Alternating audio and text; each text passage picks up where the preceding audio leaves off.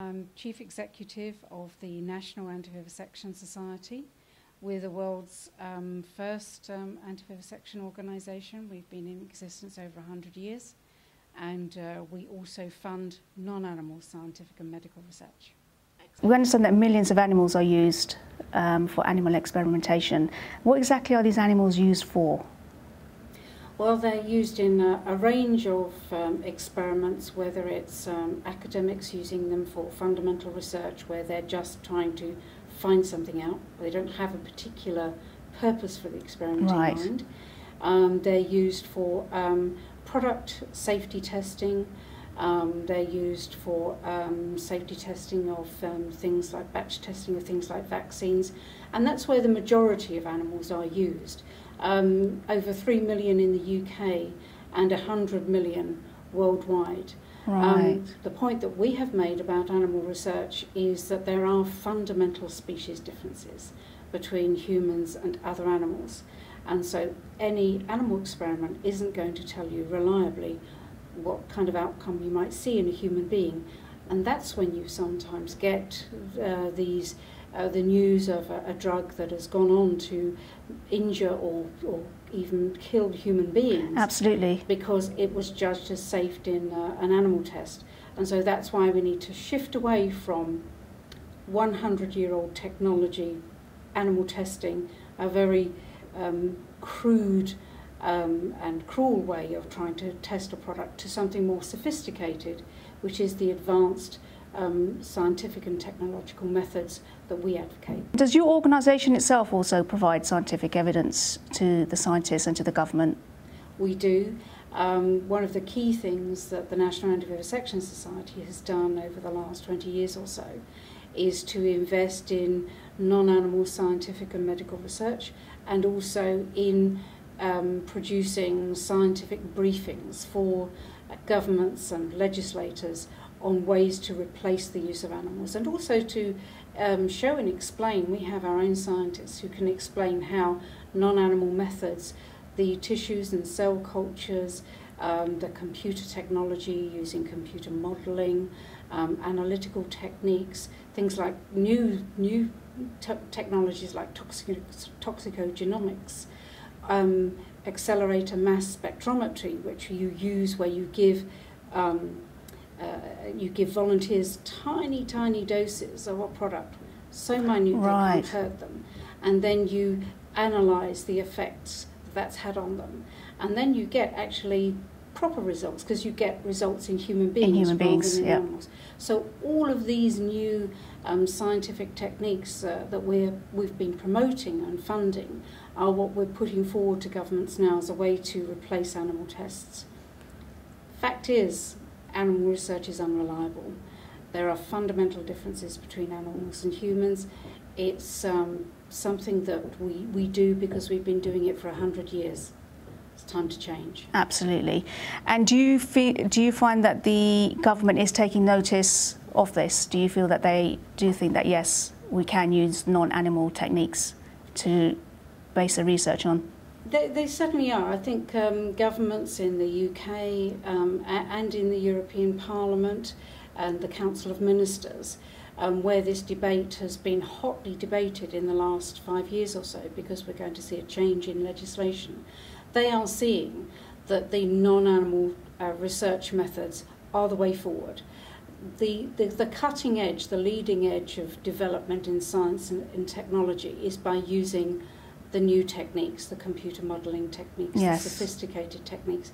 And animal experiments are a thing of the past, and gov governments do know this and they see this, but they are still being advised by a minority of scientists right. who still cling to using animals. They've built their careers on animal research and they don't want to let that go. Absolutely. Scientifically, people should not want to use um, animals from unknown sources. But then the second problem that you have is that you, the more you refine animals and provide them for research, for example, a lot of the um, genetic manipulation of animals yes. and um, the purpose breeding of animals, what you get is a certain animal, series of animals where you're trying to standardize the way those animals might respond. But people aren't standardized. Absolutely. We're varied. and we have a whole genetic mix there. So fundamentally, you still you you come. It's like a loop of problems that animal Yes. research creates a loop of problems. It's like an artificial arrangement, really, isn't it? It is yeah. Absolutely. Um, artificially induced dis- disease um, behaves differently in animals in laboratories from the way disease behaves in the real world. So what we really need is sophisticated techniques which can tell us what happens. Where do you think these techniques are predominantly used at the moment? In which country would you say? Um, certainly in the UK, we're using them more and more. Um, in some countries in Europe, um, the non-animal research techniques um, are being quite well used. The biggest problem is that many countries in Europe, uh, their science and technology and uh, their, their animal research um, base is way, way behind countries such as the United Kingdom. And Right. so uh, you have this imbalance in Europe where you have a few countries who are very sophisticated in their approach to replacement of animals. Yes. You have some countries who barely know what replacement techniques are. And so we're trying to bring those countries up to speed.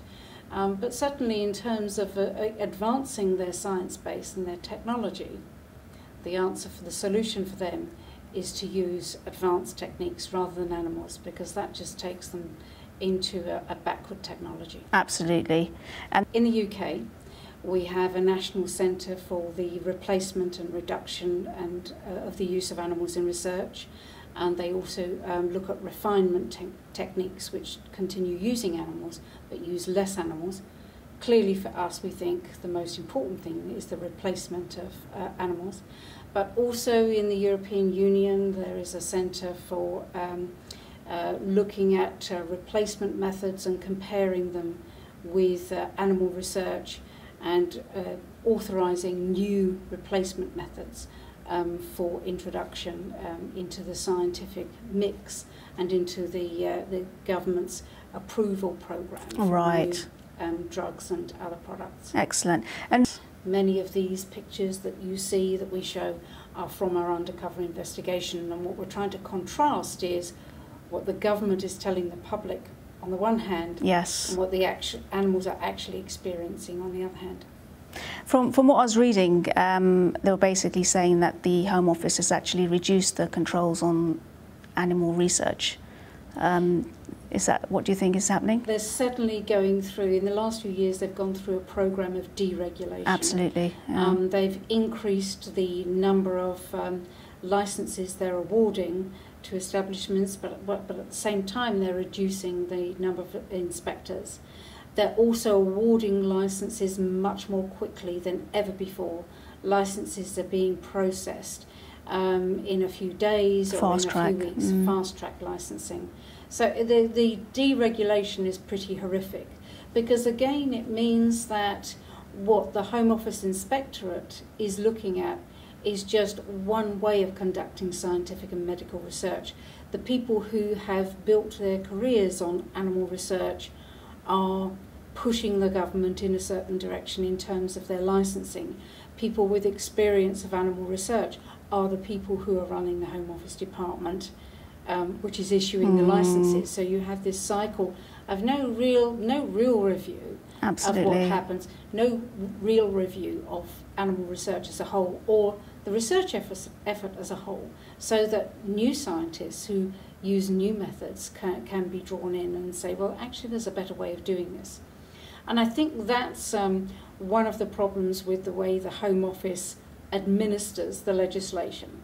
It's full of people who have always done it that way. Had an interest. And they're Yeah. talking to people who have a vested interest Absolutely. in doing it in a particular way.